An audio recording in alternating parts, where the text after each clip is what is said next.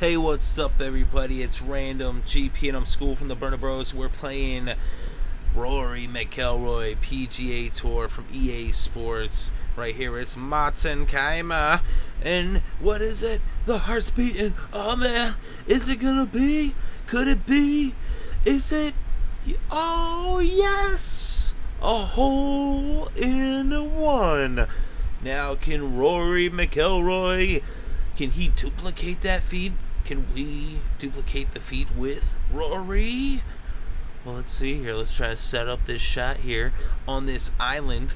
This is like the Battlefield 4 map, which is pretty crazy. It's pretty crazy. Oh man, the heart's beating. Boom, boom, boom, boom, boom, boom, boom, boom. Is it gonna be a hole in one? Is it gonna be? Oh, so close. That's as close as it gets.